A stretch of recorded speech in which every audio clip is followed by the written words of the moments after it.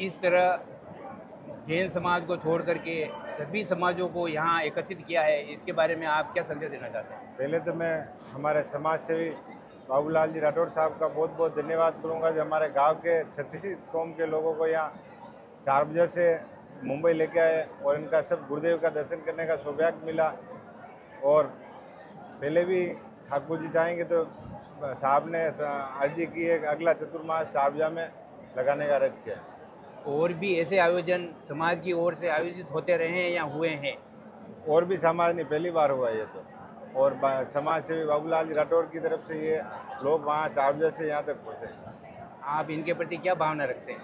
भावना तो ये है कि इनका काम सब इनके नेतृत्व में हम काम करेंगे और ठाकुर जी चाहेंगे तो आगे और चतुर्मास लगा अगले साल तो पूरी हम गाँव वाले के साथ मिलके साहब के साथ प्रयास करेंगे।